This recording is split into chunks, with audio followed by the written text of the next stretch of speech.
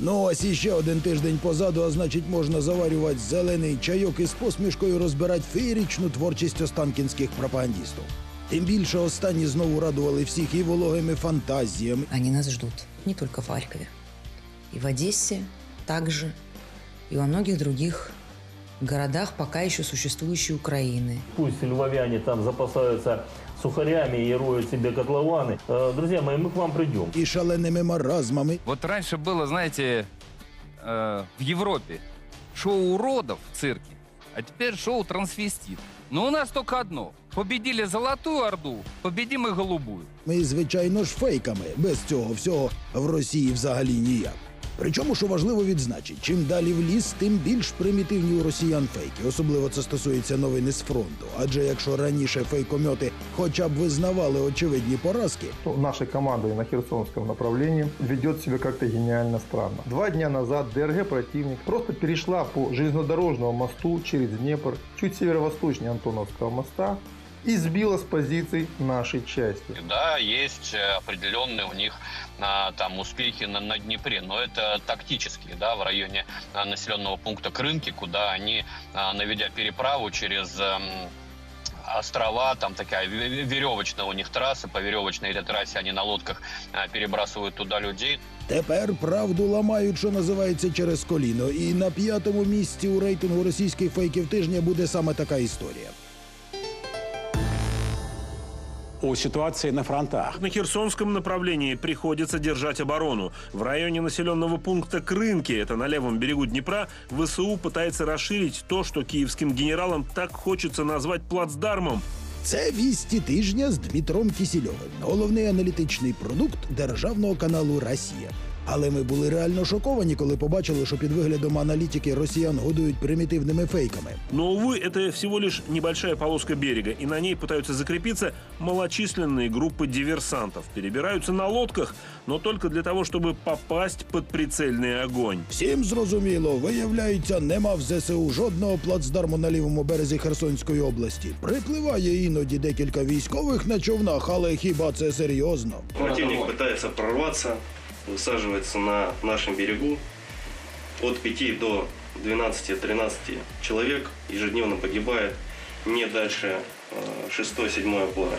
Дальше пройти еще не удавалось. І ми слухали все це і навіть не знали, як реагувати. Ну окей, припустимо, ви не дивитесь українські джерела, де вже давним-давно показали навіть відео із села Кринки. Крынки, Херсонская область, ВСУ в селе. Але ж і Кісільов і редактори його програми гарантовано читають російських воєнних кореспондентів. Той же Пєгов та Романов вже кілька тижнів із бубнами бігають, намагаючись привернути увагу до проблем якраз в Херсонській області. Идет мясорубка, ситуация тяжелая. Те пи***цы, которые рассказывают, что там все под контролем, ничему не научились из того, когда рассказывали, что на дачах на левом берегу Днепра никого нет. На Херсонско-Крымском направлении продолжаются ожесточенные бои у поймы Песчановки, Подстепного и Крынок.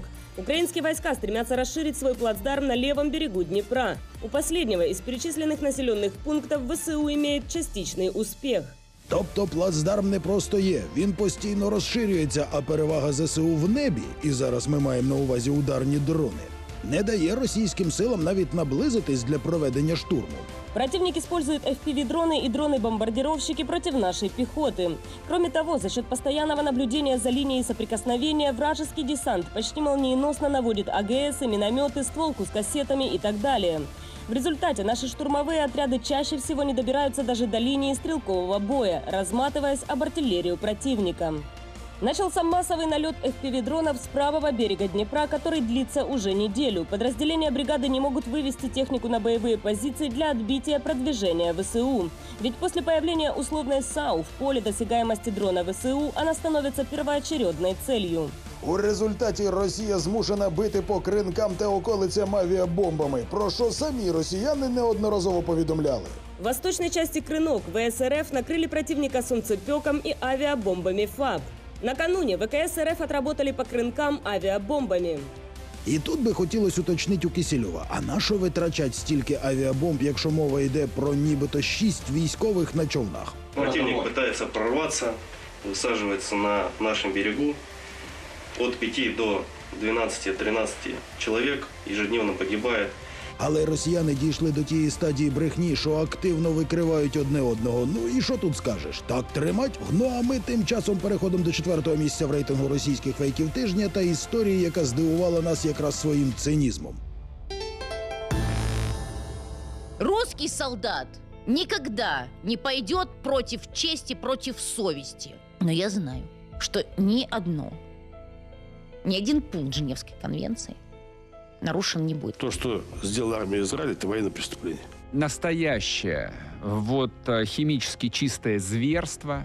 Русский солдат себя так не ведет. Никогда. Запомните, сволочи. Никакой бучи, никакие русские никогда не устраивали. Річ у тім, що путінські пропагандісти регулярно розповідають холопам байки про неймовірне благородство російських військових. Мы никогда в жизни не будем одобрять нападение кого бы то ни было на мирных де- женщин, детей, стариков. Ну, это не может оправдать никто. Почему? Потому что ни одна религия в мире, она не может э, позволить, чтобы убивались ни в чем не повинные женщины, дети, старики. Это не вписывается ни в одну религию в мире. Мовляв, на тлі операції Ізраїлю в Газі ванюші це просто невинні карасіки. У мирних жителів не стріляють, бабусь через дорогу переводять, а ракети вражають виключно військові цілі. что мы более гуманны, как я говорил ранее, мы не бьем по мирным жителям, там не гибнут женщины, дети. Позиция России, ту, которую четко обозначил наш президент Владимир Владимирович Путин, что мирных людей убивать нельзя. Он не поддался на уговоры многих, в том числе народные такие крики из народа. Ну что же мы их не бомбим, ну что же мы вот не расфигачим там все. И не дал никому из нас превратиться в зверей. Что мы все-таки не такие. І ось ти слухаєш це все і одразу перед очима буча. Трупи дітей на вокзалі в Краматорську. Маріуполі з нескінченними братськими могилами. Кадры из поселка Старый Крым, где видны длинные траншеи на кладбище. Это братские могилы. И, по словам э, городских властей, тела там складывают в несколько слоев. Спутник зафиксировал уже третье место массовых захоронений вблизи Мариуполя. Але остаточно дно було пробито все-таки ось тут. Альтернативно обдаровані в Москві вирішили мірятися трупами. Мовляв, дивіться, дивіться, кривавий Ізраїль за кілька тижнів убив більше мирних жителів, ніж Росія за весь час проведення СВО. Количество жертв среди гражданского населения в Газе уже превысило количество жертв среди гражданского населения за полтора года СВО. Пока то, что мы видим по отчетам, это ужасающая гибель мирных жителей. Так вот, за более чем полтора года специальной военной операции количество мирных жителей, погибших, уже, по-моему, больше за несколько недель боевых действий на территории сектора Газа. А количество убитых детей в разы превосходит. Просто трагедия. Вони б так вбитих дітей у Сирії під час бомбардувань рахували. А, точно, тоді невигідно було на дитячих кістках танцювати. Що ж до спроб рахувати трупи, чого ми дуже не любимо, то навіть якщо спиратись на цифри від Хамас, Число погибших палестинцев в секторе Газа по состоянию на 14.00 10 ноября составило 11 078 человек. То теза Ізраїль убив більше, ніж Росія, це фейк, причому жалюгідний. Майже 10 тисяч мирних жителів в Україні. Це підтверджена інформація, але що важливо, без окупованих територій. С 24 февраля 2022 года УВКПЧ зафиксировала 27 449 жертв среди гражданского населения в стране, 9701 убиты и 17 748 ранены. Фактические цифры значительно выше, поскольку получение информации из некоторых мест, где идут интенсивные боевые действия, задерживается. А многие сообщения все еще ожидают подтверждения. Это касается, например, Мариуполя, Лисичанска, Попасной и Северодонецка. А в одному Маріуполі рахунок вбитих Росією городян йде на десятки тисяч. Вот, здравствуйте, смотрите, как в Мариуполе на кладбище людей хоронят. Вот. Человек. Вот, чоловік. Скажімо, ось таких нових цвинтарів на околицях міста з десяток. Тому наступного разу, перш ніж корчить із себе ледь не святих, пропагандістам варто було приїхати в окуповані міста та подивитися на розміри братських могил. Можливо, після такого хтось під час розгону темніка прикусив би власний же язик. Але давайте чесно, шансів побачить таке дуже мало. Бо у російських пропагандістів немає дна, а ще немає совісті. І трійка лідерів у рейтингу російських фейків тижня тому яскраве, головне чергове підтвердження. Перелік головних лузерів тижня традиційно починаємо з третього місця. І з непочесною бронзою цього разу автори шедевра про кредит МВФ, який нібито потрібно закривати через дію. Украинцам предложили скинуться на госдолг. В 2023 году Украина должна выплатить 12 миллиардов долларов. Преимущественно это проценты по кредитам МВФ. Решить проблему решили за счет оставшихся в стране украинцев. Сума то всього лише 12 мільярдів. Зараз от рендомний тракторист Микола пару тисяч із зарплати відправить і почнемо новий рік без боргів. Предлагают помочь правительству и скинуться. Пока добровольно. Ну а якщо Микола вирішить не відправляти гроші, то колектори з МВФ можуть і телефон зірвати, а потім ще й квартиру опечатають. Ага. Ну, просто невероятное м, свинство. Э, Даже не знаю, как это назвать. Ну а якщо ж говорити серйозно, то є відчуття, що фейкомети просто не в курсі, що таке дія і для чого вона потрібна. Сказали б вже, що рахунок для погашення держборгу надійде разом з комунальними платіжками, і те більш правдоподобно виглядало б. Уволить! Ну і нарешті головне, не дуже зрозуміло на кого розраховані подібні фейки, адже кожен українець може витратити 30 секунд, відкрити дію і переконати, що росіяни не брешуть лише під час сну. Та й то не факт. Тому, друзі, щоб не стати жертвами маніпуляцій, не лінуйтесь перевіряти інформацію, адже людські лінощі це один із небагатьох союзників путінських пропагандістів. Ну а ми тим часом передаємо вітання всім майбутнім мамам. Ви не повірите, але вагітні українки буквально зводять з розуму останкінських крикунів. Украина вынуждена проводить супермобилизацию. Женщины, инвалиды, калеки и так далее. Есть такое вообще э, направление мысли, что завтра украинцы закончатся. Украинцы завтра не закончатся, к сожалению. Ага. Уже рекламируют одежду для беременных женщин военнослужащих ВСУ. Так. Мы себе представим себе беременную тетю вот в окопах где-нибудь там под Авдеевкой, которая там стреляет из автомата, да? Замечательно. Ми зібрали одразу декілька російських фейків про вагітних та поставили їх на друге місце рейтингу. І давайте вже разом дивитися. Отже, кіно номер один. Я вам сейчас хочу коротенькое видео показать. Ну, просто, чтобы все было понятно про русского солдата. Совсем коротенько. Это вот буквально на днях. Оружие есть? Не дергайся. Держи, я посмотрю.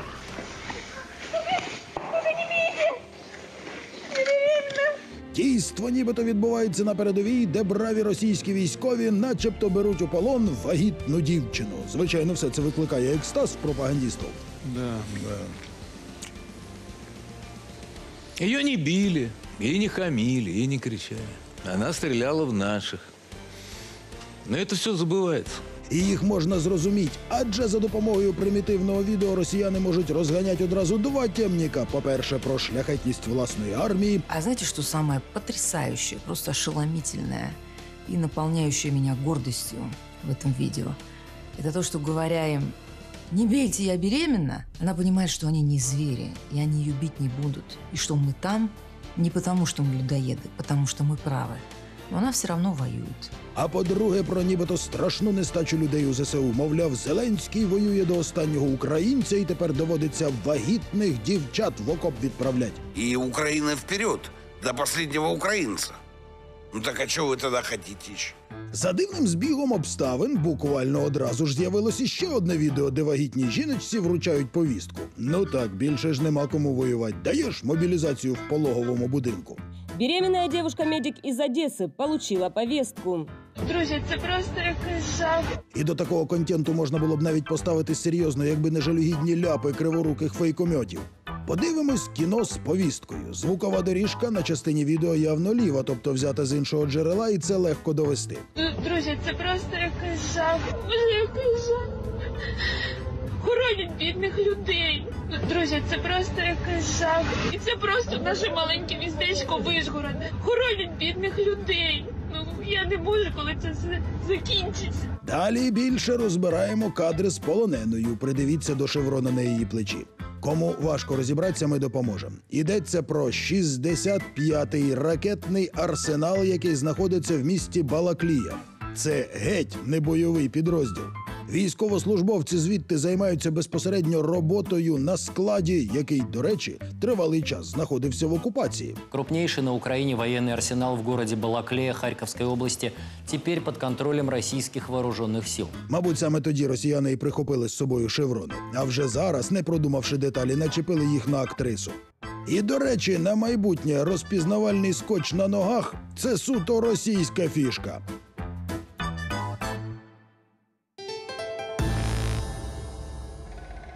Ну а нам саме час переходить до найбільш епічного зальоту тижня. Він і кумедний, і показовий одночасно. Показовий, тому що на першому місці в рейтингу російських фейків опинилися навіть не пропагандісти, а співробітники Міністерства закордонних справ Росії. Тобто країна забрехалась настільки, що розповсюдженням фейків займаються навіть професійні дипломати. Давайте разом подивимось, що там вигадали ці генії. Опубликована брошюра «Украина. Новый центр мирового нацизма», в которой собраны свидетельства преступлений киевского режима. Украина – центр мирового нацизма, 50 оттенков коричневого.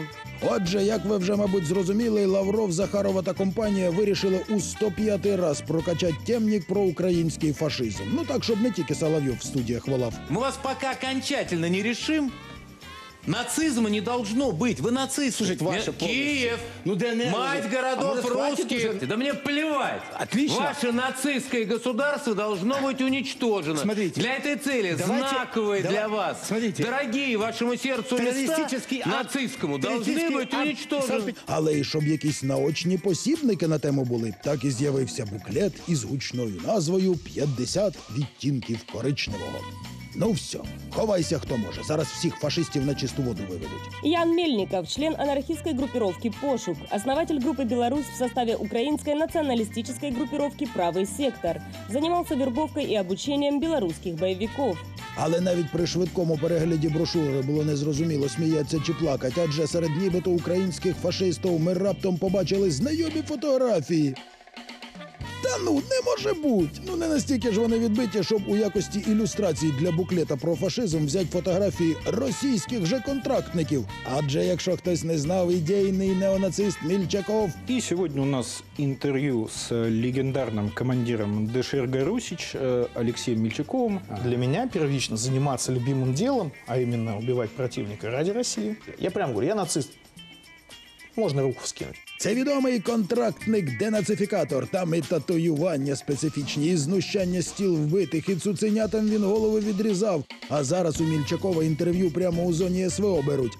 То есть мне на самом деле неприятно, что у нас белые крошат белых. Ты это знаешь, я, бы- я расист. Но я крошу, потому что я считаю, что это моя страна и мой народ. Они решили отделиться. Тобто взяли своїх фашистів, сфотографували, і перемога страшилка про українців готова. До речі, сам Мільчаков теж був шокований творчістю російських дипломатів. А вот такое содержание журналов, которое идет в Росгвардию. Составитель пропагандон, видимо, нюхал соль и меф. Адже ще Гебель запевняв, чим більш цинічна брехня, тим швидше в неї повірять. Власне, саме поради Геббельса у Кремлі давно взяли за основу. І коли хтось говорить, мовляв, Росія антифашистська країна, це головний фейк, безумовний номер один у будь-якому рейтингу. І завдання кожного з нас невтомно про це нагадувати.